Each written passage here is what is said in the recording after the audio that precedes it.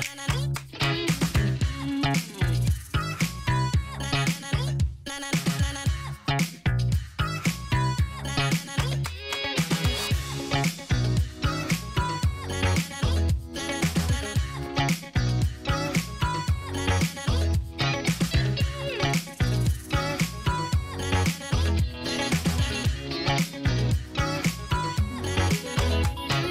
it's extremely exciting. Uh, in my lectures, a lot of there are always young people uh, in the audience, and they always want to know when they're bringing it back. You know, and I always say I don't think ever.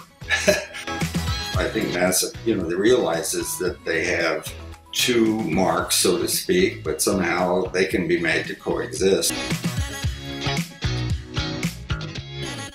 We had to analyze what had been done by NASA in the past.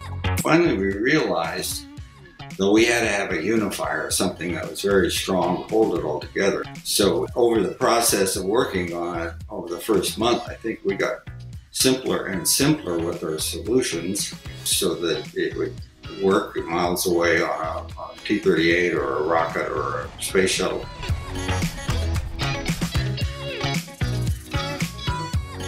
We were trying to embody in the, in the logo innovation. Um, you know, the organization still had uh, aeronautics as well as space.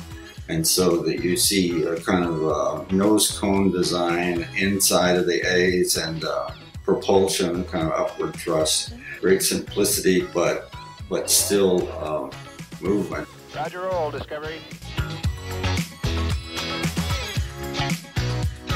The term worm came out of Florida in a newspaper down there, and it was meant to be derogatory, and I thought I personally thought it was very derogatory. And eventually, over the years, uh, the worm became a term of endearment, but it wasn't meant that at all in the beginning. When they started um, producing apparel a couple of years ago, they found out how young people in particular really like this program, and uh, and so they've allowed it to kind of come back to life on its own.